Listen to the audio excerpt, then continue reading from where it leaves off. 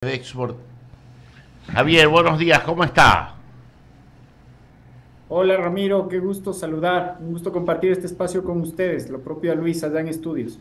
Sí, no, como las damas son primero, acaba de llegar, es nuestra compañera y nuestra estrella de televisión, así que empiece la entrevista Luisa Delgadillo. Gracias Ramiro, tú siempre tan atento y generoso. Eh, un gusto saludarlo, estimado Javier. Bueno, eh, algunos temas en carpeta y yo quisiera comenzar con las eh, propuestas eh, económico urgentes que han sido enviadas por el Ejecutivo. una de las más controversiales es precisamente la de pretender incrementar el IVA del 12 al 15%, según ha trascendido. Ecuador y Bolivia en la región serían los países que eh, tienen eh, porcentualmente el IVA más bajo. Eh, desde su respetable punto de vista, ¿es pertinente subir el IVA al 15%? ¿Qué ganaríamos y quién podría o quiénes verse afectados con este incremento? Bueno, el contexto definitivamente nos lleva como país a una circunstancia totalmente excepcional. Vivimos un momento inédito que en la opinión del sector exportador, si bien lo veníamos alertando desde el punto de vista de la inseguridad, pero ya los niveles de violencia son absolutamente insostenibles, Luis. Y por lo tanto el presidente de la República ha tomado una decisión en torno a un impuesto, una reforma tributaria que pueda cumplir un doble objetivo. El primero, que pueda ser de fácil e inmediata recaudación, porque necesitamos movilizar los efectivos de la fuerza pública de manera rápida para poder enfrentar y contener todo el problema que tenemos de inseguridad. Y definitivamente el IVA es un impuesto que cumple esa función. Y el otro es que necesitamos también empezar a entender que hay servicios públicos alrededor de toda la planificación de la seguridad que de otra manera no podrían sostenerse si es que no logramos ir cerrando la brecha de déficit fiscal. Sin embargo, nosotros en la tarde de ayer ya hemos emitido un pronunciamiento que ha sido concordado con los sectores de exportación en torno a cuáles creemos que son los esfuerzos que también tiene que concentrar el gobierno nacional para poder en este momento plantear ese incremento eh, que sin duda hay que, hay que respaldar esa noción del presidente, pero, por ejemplo, al mismo tiempo, tenemos que seguir enfocando esfuerzos en incrementar la calidad del gasto, o visto de otra, de otra manera, reducir el gasto público que es improductivo, que no está generando absolutamente nada, porque en este momento hay un sentido de prioridad, Luis, que es la seguridad. Por lo tanto, todas aquellas instancias, eh, tanto en gobiernos locales, gobierno central, en el Estado en general, que no están generando un valor agregado en torno a lo que necesitamos con sentido de prioridad, es un gasto que nos parece que tiene que empezar a reducirse. Al mismo tiempo, hay que discutir ya la focalización de todos los subsidios. Ciertamente, esto implicará compensaciones, implicará una gran discusión en torno a cómo hacemos gobernable esta medida, pero es algo con lo que como país no podemos convivir si queremos enfrentar otros problemas estructurales que son los de fondo, como la falta de empleo, que hace que, por ejemplo, muchas de las personas que están vinculadas a estos grupos delincuenciales organizados son justamente personas que no tienen una opción de vida en el circuito formal de la producción. Y finalmente hay que combatir la informalidad, que es lo otro que le hemos planteado al presidente. No es posible que podamos seguir sobre la misma base los mismos que tributamos todo el tiempo. Mientras nosotros hacemos las cosas en estricto apego a la ley, hay otras personas que jugando por la izquierda eh, simplemente se siguen enriqueciendo con otras actividades económicas, pero no tributan absolutamente nada hay que ampliar la base tributaria y ahí hay que hacer un esfuerzo contundente. Pero de todas maneras, que nada nos desenfoque, Luisa, porque la prioridad en este momento indiscutiblemente es la contención de la ola de violencia e inseguridad. Coincido con usted, como estoy eh, segura, eh, el común denominador de los ecuatorianos, pero hay otro tema que me preocupa muchísimo y es cuál va a ser la postura de los diferentes bloques políticos de la Asamblea Nacional que desde ya se han estado decantando y pronunciando por decirle no al incremento del IVA y desde ya también, en otro tema no menos importante, a propósito de la importancia de fortalecer las exportaciones y que crezcan en volúmenes, está también el tema de volver a tratar y votar el tema del acuerdo comercial con China. Eh, en ese contexto, creería yo que va a ser vital que también por parte del sector al que usted representa y de cada uno de los sectores involucrados haya ese acercamiento en la asamblea para un poco poder compartir sus inquietudes y la visión del por qué es importante lograr ese anhelado acuerdo comercial con el gigante de Asia, habida cuenta de que somos el único país en la región que no tenemos firmado uno y creo que por eso en buena medida estamos como estamos, ¿no le parece? Completamente, Luisa. Esto es algo que desafortunadamente en días anteriores, cuando el tema de la ratificación del acuerdo comercial con China fue tratado en el Pleno, nos llamó de una manera desafortunada la atención, porque nos parece absolutamente inconsistente que existan bloques de asambleístas que teniendo de frente la posibilidad de generar una solución estructural a todo este problema de inseguridad, que es mayores oportunidades de empleo, que es lo que por principio los acuerdos comerciales persiguen, porque amplían la escala que tienen o tenemos en general los sectores no solo exportadores, sino sectores productivos que pueden convertirse en exportadores. Más aún en un mercado que, como nosotros lo planteamos en la Comisión de Relaciones Internacionales de la Asamblea, es absolutamente insustituible. No existe otro mercado que me pueda comprar 1.500 millones de libras de camarón. No existe otro mercado que me pueda comprar 15 millones de cajas de banana. Pero lo que yo no encuentro es que los asambleístas nos den una alternativa sostenible para decirme si es que empiezo a perder esos mercados, porque de hecho eso puede ocurrir. Nicaragua, que también tiene una línea ideológica muy cercana a muchos de los asambleístas que se opusieron, acaba de ratificar un acuerdo comercial con Nicaragua, eh, perdón, con China y son competidores directos, por ejemplo, en frutas frescas. La más emblemática, el banano. ¿Qué va a ocurrir cuando empecemos a perder esa plaza de mercado, así como empezamos a perder sistemáticamente en su momento Unión Europea por todos los años que no logramos involucrarnos en el acuerdo comercial? Luego Estados Unidos, cuando nos separamos del proceso de negociación en el año 2006 y que hoy seguimos intentando tener un acuerdo comercial, vamos a dejar que nuevamente se nos vaya el tren con la economía que en este momento tiene el crecimiento más vibrante a nivel internacional y que tiene una capacidad de consumo que es irreemplazable para los productos de alta intensidad en volumen que nosotros tenemos particularmente en la oferta alimentaria del país. Por lo tanto, yo coincido con usted. El mensaje político que le hemos enviado a la Asamblea es que es una responsabilidad por parte de ellos en este momento darle una alternativa estructural de empleo a la, a la sociedad, porque además la exportación, y yo creo que usted lo leyó muy bien en su comentario, tiene una, una, un distintivo que probablemente otras actividades económicas no necesariamente tienen, o por lo menos no en la misma intensidad. Nosotros llegamos a las zonas rurales más vulnerables, llegamos al campo, llegamos allá donde está la pesca, donde se hace la acuacultura, llegamos en, en las zonas en donde las familias necesitan una alternativa para no migrar a las grandes ciudades. Y esos mismos, esas mismas familias, si es que no llega la, actividad productiva exportadora, son justamente víctimas susceptibles de poder empezar a vincularse a actividades ilícitas. Eso es justo lo que queremos evitar. Y creo que el momento del país debe llevar a pensar que por fuera de los dogmas que pueden tener los asambleístas, hay que tomar las cosas con mucho pragmatismo y sentido de urgencia. Muchísimas gracias de mi parte. Ramiro.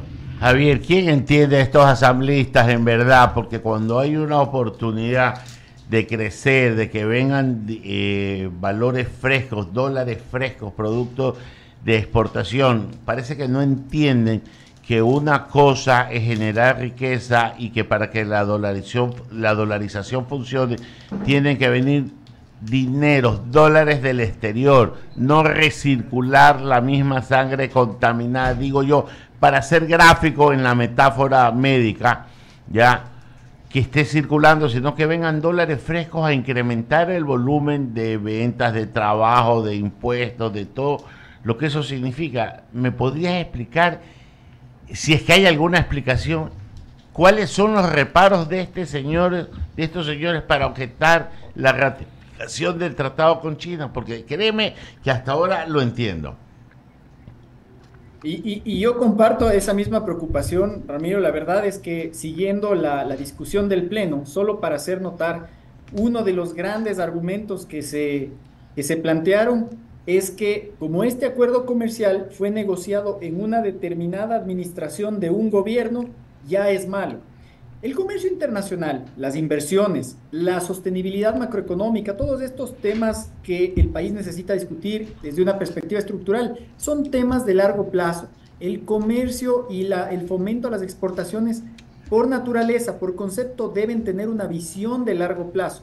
Entonces, tenemos, y la clase política sobre todo, tiene que entender que esto tiene que transformarse en una política de Estado, no son políticas de gobierno. Me parece, Ramiro, que en algún momento con usted discutíamos en estos mismos micrófonos, ¿cómo es posible que Perú, a pesar de toda la volatilidad política que le ha caracterizado en los últimos años, mantiene una estructura muy sólida desde el punto de vista económico y particularmente del punto de vista de la apertura de eh, mercados que le son importantes para que su oferta exportable pueda seguir compitiendo y en, su caso particular sigue desplazando incluso a la ecuatoriana, porque tienen una red de acuerdos comerciales importantes. Eso es tener una visión de política de Estado que trasciende las administraciones. Yo le voy a poner un ejemplo muy simple, Ramiro, que estoy seguro que quienes nos escuchan van a poderlo sintonizar con mucha más facilidad.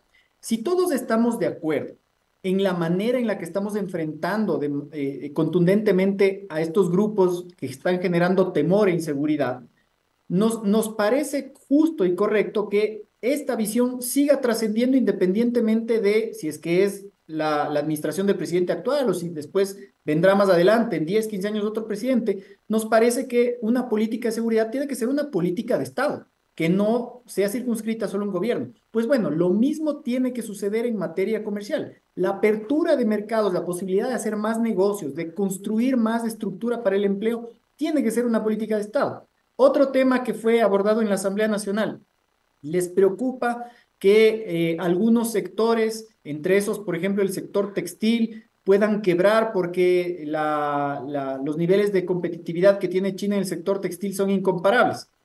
La verdad es que el sector textil, así como línea blanca, cerámica, metal mecánica, eh, muchos de los sectores plásticos que fueron considerados en productos extremadamente sensibles están excluidos de la negociación. Por lo tanto, decir que por efectos del acuerdo comercial pueden llegar a quebrar es mentir.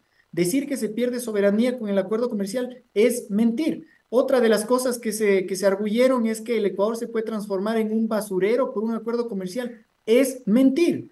Es mentirle a la opinión pública porque es o no haber leído el acuerdo comercial o peor aún, es haber leído el acuerdo comercial y aún así intentar desinformar a la opinión pública. El acuerdo comercial lo único que hace es abrir la posibilidad para que tanto los productos del Ecuador puedan llegar y dejar de enfrentar, en nuestro caso, más de 140 millones de dólares en aranceles que el sector exportador tiene como barrera para entrar al mercado chino y al mismo tiempo que los productos que vienen desde China también tengan cronogramas de desgrabación para poder ingresar sin aranceles acá. No es que habilita ni, ni, ni, ni se superpone una prohibición de la normativa interna como para que China de pronto pueda empezar a enviar eh, basura. Son cosas, son, son, son ese tipo de, de cosas, Ramiro, y con esto le cierro la idea, que a mí mucho me recuerdan, usted también lo recordará y Luisa lo mismo, de cómo cuando íbamos a suscribir el acuerdo con la Unión Europea, nos amenazaban que les iban a quitar a comunidades rurales el agua.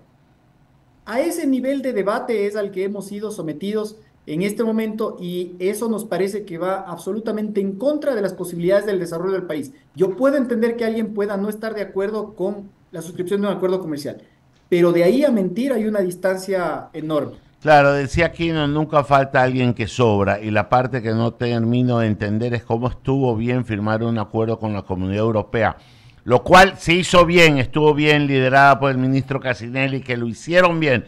¿Y por qué esa misma gente hoy piensa que esto no está bien? Créame que ese chip no me entra en la cabeza. Le paso al licenciado Javier Segarra.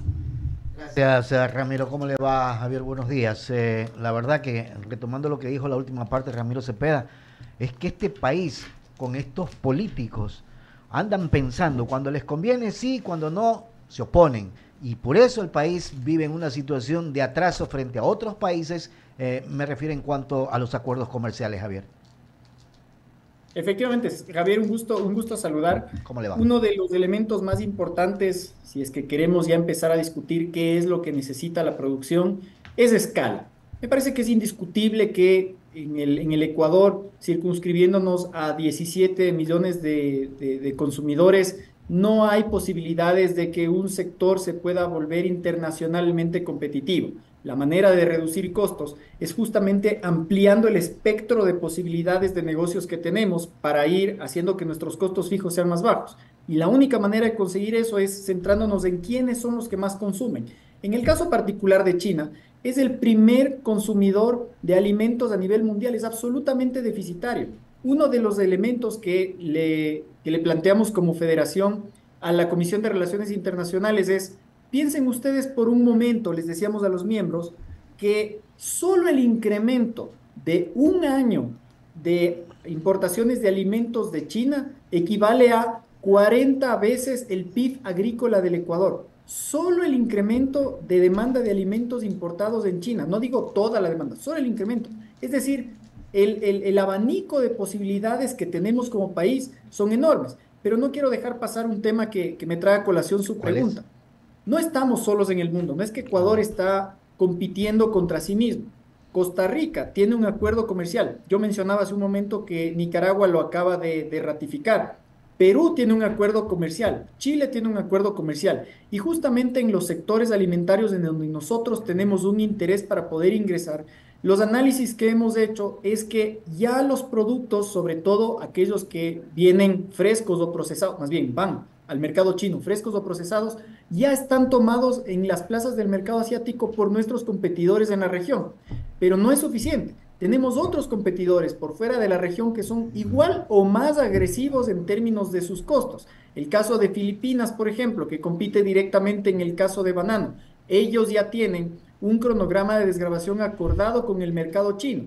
Entonces, nuevamente, si es que los asambleístas y los grupos eh, que están en contra de la ratificación de este acuerdo comercial nos dan una alternativa para colocar todo ese volumen de camarón, todo ese volumen de banano y todas las expectativas de los más de 600 productos potenciales alimentarios que tenemos para introducir en el mercado chino, entonces creo que podemos eh, sentarnos a discutir como ellos quieren. Pero ¿sabe qué, Javier? No tienen, no tienen ninguna otra opción porque es un mercado irreemplazable. Por lo tanto, si no hay opción y en este momento necesitamos generar empleo, me parece que no hay nada más que discutir al respecto. Es increíble, ojalá, no sé, o sea, pedir que tomen conciencia es problema de ellos en definitiva, porque si no lo quieren entender en cuanto al beneficio que pueda significar un acuerdo comercial, oiga, nos pasaremos aquí años hablando de lo mismo, mientras la cabeza políticamente piense de otra manera. Daniel, por favor. Daniel Solor se eh, continúa con la entrevista. ¿Cuál va a ser la estrategia? Supongo que hay un lobby trabajando con los asambleístas, con estos asambleístas recién llegados, iluminados, que creen que pueden... Eh, eh, es que vi, vi, una noticia de ayer de un asambleísta, Esther, no me acuerdo el nombre, que presentó un proyecto de ley para modificar la constitución. O sea, yo la verdad es que no entiendo, ¿les pagan de gratis a los asesores o no hay quien asesore a un asambleísta que no se puede modificar la constitución mediante una ley? Pero bueno en este país... Nunca falta alguien que sobra. Eh, pero es que me parece de loco. Pues, eh, eh, es que es absurdo, pero en todo caso...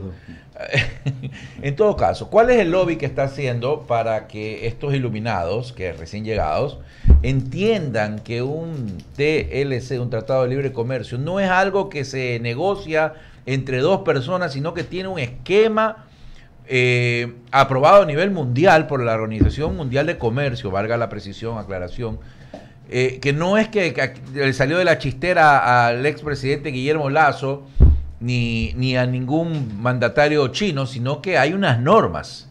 O sea, pretendemos ser eh, eh, ingeniosos, darnos las de, de, papistas, cuando todo el mundo sabe que un TLC se rige bajo disposiciones mm, internacionales. Entonces, eh, el lobby que van, supongo que van a hacer algún tipo de lobby, ¿no? Con, los asambleístas para un poco educarlos, enseñarles.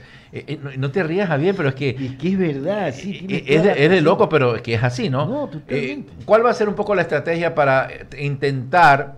Um, intentar que los asambleístas conozcan primero, porque, porque para entender tienen que conocer, no, no es al revés. No pueden entender lo que no conocen. Entonces, primero conozcan de qué se trata y luego entiendan que es algo que se necesita.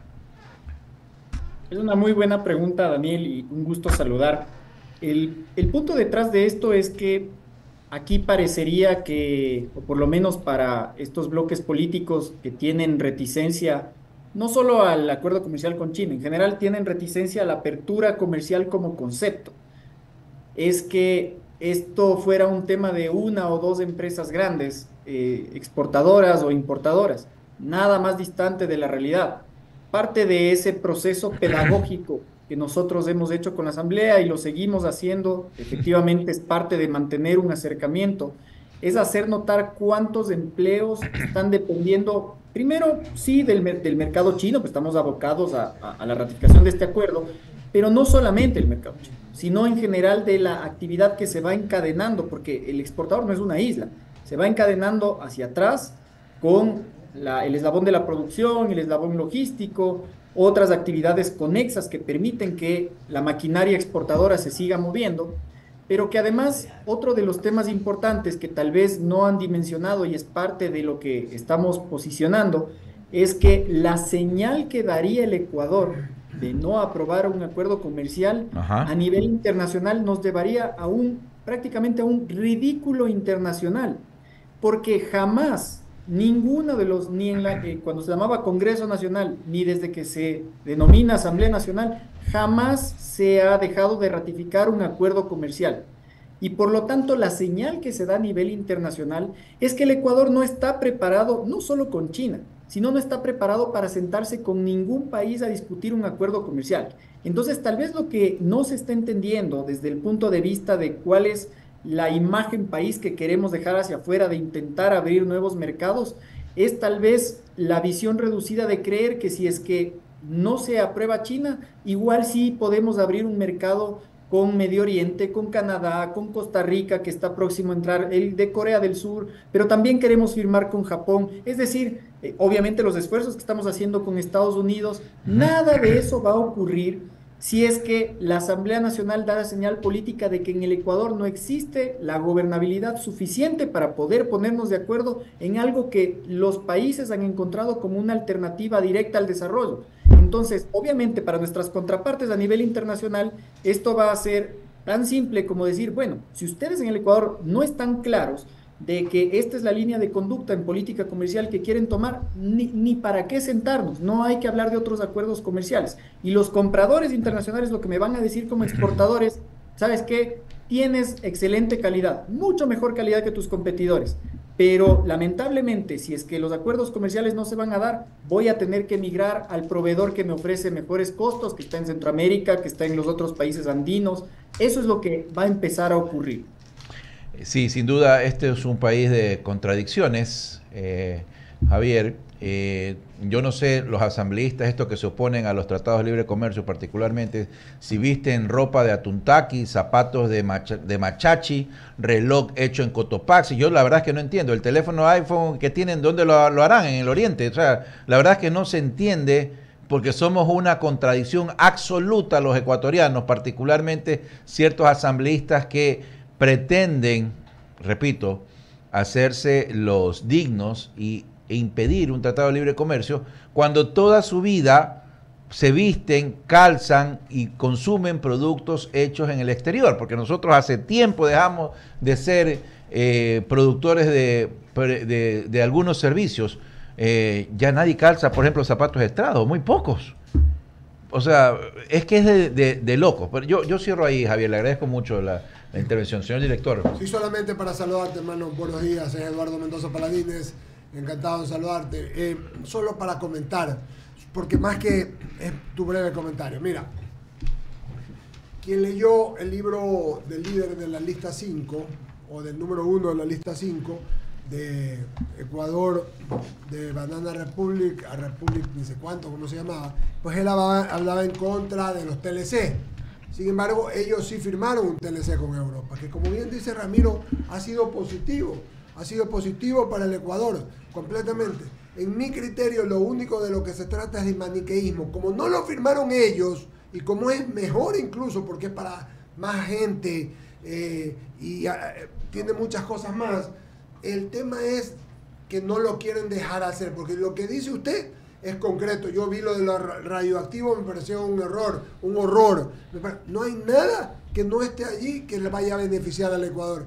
Es nada más y nada menos en mi criterio que maniqueísmo. Como no lo hice yo, no vale porque, porque lo hicieron ellos. Qué desgracia que el Ecuador tenga que soportar estas cosas, mi querido Ivo. Querido Eduardo, un abrazo también a la, distancia, un saludo. Y lamentablemente esa inconsistencia nos termina pasando factura en las necesidades que tenemos en el corto plazo, como yo decía, de empezar a generar más dinámica de producción. Un elemento que se me pasaba a comentar es que si bien es cierto, creo que eh, a todos nos ha tomado esta declaración de guerra y conflicto interno como un escenario que no habíamos vivido antes, pero el sector exportador no ha parado. Nosotros seguimos con nuestras operaciones eh, de manera eh, normal, cotidiana, regular, digo, dentro de lo que cabe, dentro de las circunstancias, obviamente, pero, pero nosotros no hemos parado un segundo y creo que eso es un primer mensaje de previsibilidad que le estamos dando a nivel internacional a nuestros compradores, porque las primeras llamadas que recibimos es, después de ver los, los ataques eh, a, TC Televisión es, primero, ¿están bien? ¿Está bien tu familia? Y la segunda pregunta es, ¿vas a poder seguir proveyéndome de productos? Y nuestra respuesta es, por supuesto, en pandemia no paramos, en esto no vamos a parar tampoco. Pero después la siguiente pregunta que viene es, ok, de acuerdo, pero ahora vemos que hay un problema ahí en el, en el Congreso de ustedes en Ecuador, en donde hay debates en los que todavía están viendo si es que es correcto o no que ustedes sigan abriendo mercados. Y la verdad, yo, yo comparto ahí el, comentario, Eduardo, porque es extremadamente complicado poder explicar que el, el, lugar en donde el debate debería ser, se debería entender como el más elevado posible, existan argumentos que primero no son ciertos, es decir, se, se sustenten en falacias, y el segundo, que no persigan el interés ni siquiera del sector al que yo represento, ni siquiera el sector exportador, el interés del país que el interés del país en este momento, me parece que desde el punto de vista estructural, definitivamente es recomponer el tejido económico y social y creo yo que no tendremos mayor discusión en torno a decir que mientras más logremos producir y exportar, ese tejido económico, productivo, social, empieza a, recuperarse, a reconstruirse.